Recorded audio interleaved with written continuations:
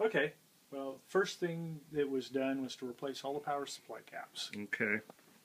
Let's And get in in here and this take unit- a look. There's three. You've got two capacitors that are four section, 20 microfarad. Mhm. This cap originally was a two section low voltage electrolytic, which we cannot source anymore. So we have a single single section can cap is the second cap. And the first cap is mounted underneath so it comes from the choke, from the tra- transformer to the first cap, into the choke, and then out of the choke to the second cap. So that doesn't affect the grounding. Got it. Very nice. Uh, the rear capacitor has four sections.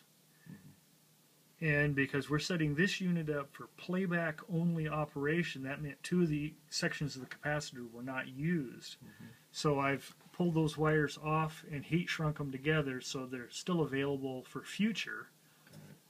Tied the two capacitor sections together that were now unused and jumpered that to this terminal mm-hmm. so we can just increase the capacitance. It seemed kind of a waste to spend 40 bucks on a cap and then not u- only use half of it.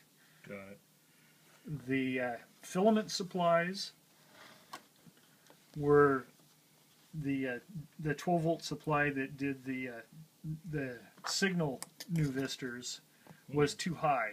I see. One we had pulled some tubes out. We don't have we're only having one output module Yep. And I took out the pair of triodes that were being used for the record amp also. Got it. What that requires is a 2 ohm dropping resistor straight off the rectifier diodes for the heater supply. Mm-hmm. So that's what there's there's an extra terminal strip tacked on the side here. Okay. So it comes from the rectifiers through the dropping resistor, then into this wire which goes to the first capacitor. The heavier yellow is the um, heater supply choke, which returns in the green sheathed wire to the original location for the second capacitor. That gets our heater supply in you know the proper operating range. Mm-hmm. Capacitor up here was replaced with a modern five mic Lightning.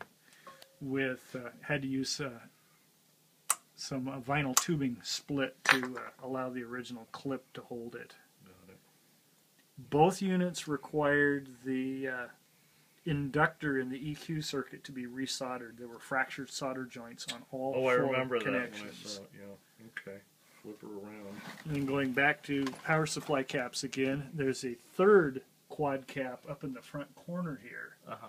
This was replaced with a quad 40 microfarad 350 volt cap. Okay.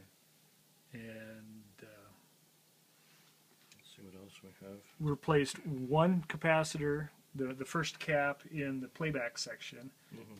with a modern 100 microfarad electrolytic. Right. And then on the output amplifier module, I put, because of the fact that they had literally zero bias on the cathode bypass cap, I put in a pair of capacitors Okay.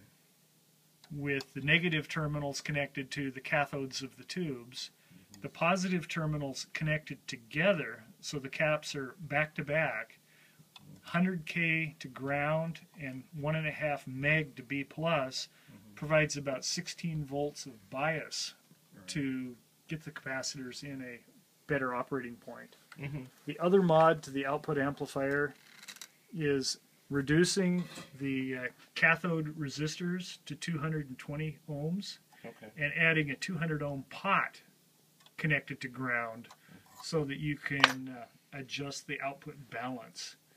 That was good for at 25 hertz, changing the distortion from about 2.5% to 0.2%, but Mhm. being able to balance the output stage. Okay.